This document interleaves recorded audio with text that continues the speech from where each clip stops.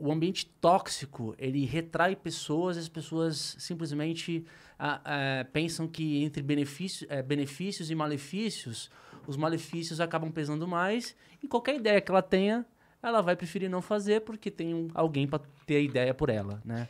É no detalhe, perfeito. Assim, te- pode, pode concluir. conclui. Não, e, e eu, e eu, eu queria até colocar na mesa a experiência de um, de um colega que mudou de, que mudou de empresa. é, e ele sofria isso na empresa antiga dele. De repente, quando ele foi para uma outra, com uma cultura totalmente diferente, cara, no onboard dele, tinha já umas cinco pessoas diferentes querendo ajudar, assim.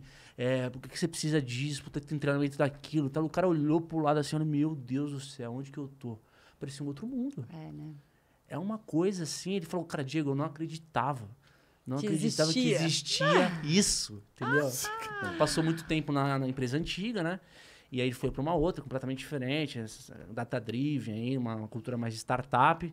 Descobriu um outro mundo, impressionante. Cara, é muito legal isso. E assim, e eu acho que esse ponto, lembra que eu falei lá atrás, assim, até de um entendimento de onde estão os seus problemas, onde não. Essa falta de autoconhecimento da empresa, o que mais confunde hoje é, é- é a falta da coerência, sabe? Assim, você pregar uma parada e você não conseguir entregar aquilo. Da mesma coisa, meu, vocês dois chegam em casa e falam assim, "Pô, a casa é de vocês. Vocês são donos dessa casa. Tá bom, aí vocês vão lá no sofá, você fala, puta, eu queria uma água. Não, eu abro o armário. Da minha casa, eu pego a água. Aí fala, puta, não sei o que, não. A geladeira eu que abro. Aí, beleza. Vai passando os dias, chegou a conta de luz. Eu não vi, vocês até viram, mas falou, cara, puta, a casa da Juliana, né? Não vou me meter aqui, não. Aí cortaram a luz, porque eu não paguei a conta. Eu falei Assim, mas vocês dois são donos de casa. Eu falei, cadê o senso de dono de vocês?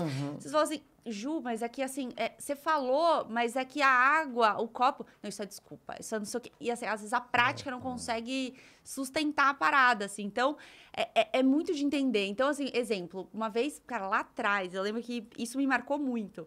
Era uma empresa ali, um cliente que falava muito a comunicação, né? a gente está muito aberto. Então, começava ali, às vezes, a reunião de liderança. Gente, alguém quer colocar algum ponto? Perguntem tal. E também no final, então, eles tinham para eles que era uma empresa super aberta.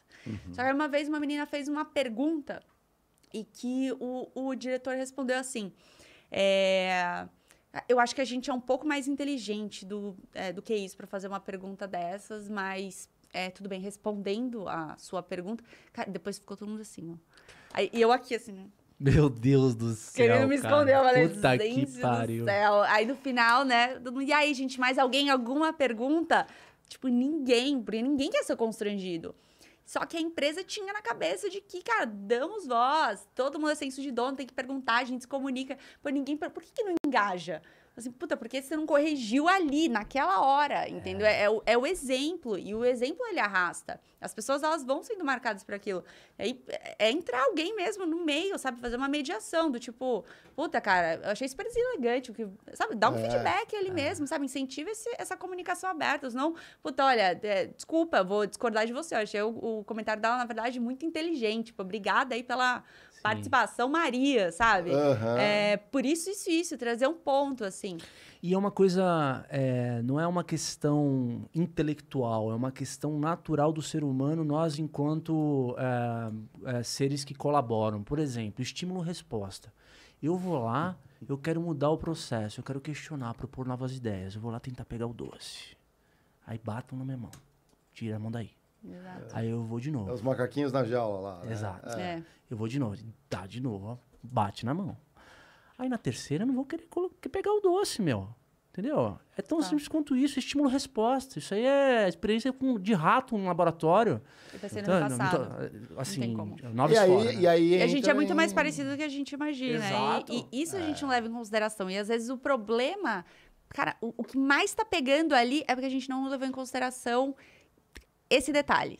Mas como que é a dinâmica? Mas como que foi a dinâmica até aqui? Por que que- o que, que as pessoas elas não vão se constranger? Quais são os incentivos delas fazerem diferente daqui pra frente? Então, Aham, a- ninguém quer ser constrangido, gente. A gente foge de conflito. A gente é, é, é, é, é é- é tão natural quanto. A gente vai fugir de todos os conflitos possíveis. Mas o contrário A não também... ser sagitariano, que o- nem é, eu, é. assim. O contrário também é verdadeiro, sabe? Se você tem uma cultura, sei lá, me corrija se eu estiver errado aqui. É, se você tem uma cultura da restrição, as pessoas vão estar reprimidas. Mas Ao contrário, se a pessoa percebe que ela está participando e pertencendo àquele processo, Perfeito. cara, a, a- Entra num estágio legal, né? de- é outra pegada.